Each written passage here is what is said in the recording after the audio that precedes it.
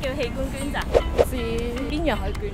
我捐隻手啲腳，我唔知喎。子宮揾 頭髮頭頭髮係咩？有個器 friend 官係我有個 friend 係有試過捐啲頭髮嘅。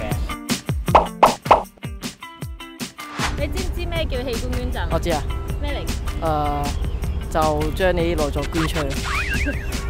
啊係死咗之後。啊係係係啊，好似有啲器官唔係死咗之後噶嘛。山寨啊！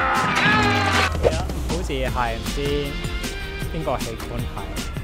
器官捐贈可能就係即係我哋離開人世嘅時候，咁咁有啲器官仲係健康嘅時候，咁就可以攞出嚟，跟住匹配俾啲有需要，即係可能有誒腎病啊，甚至係誒肺有問題嘅病人去更換咁樣啦。其實我覺得係一個幾好嘅行為，因為我自己都有做器官捐贈。咁其實你知唔知道自己剔咗誒捐贈邊啲器官？誒、全部誒、心啦、肝臟啦、肺啦，誒、誒、有冇貓字啊？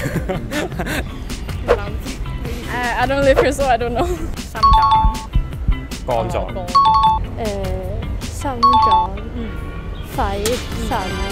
呢係得嘅仲有三個誒、組織係其實捐得嘅。生殖器官生殖器官。有創意，我中意。我捐隻手啲腳，我唔知喎。腸。點解？因為冇聽過，我唔知啊。條腸係真係冇㗎。頭髮頭頭髮係咩？有個 friend 係我有個 friend 係有試過捐啲頭髮嘅，好表姐都好似試過。唔係器官捐贈。你好叻咯！下角膜，點解會估呢樣嘢？我唔我好似有聽講過。我聽過人捐骨髓，我唔知嗰個係佢皮膚，即係可以切割嗰啲。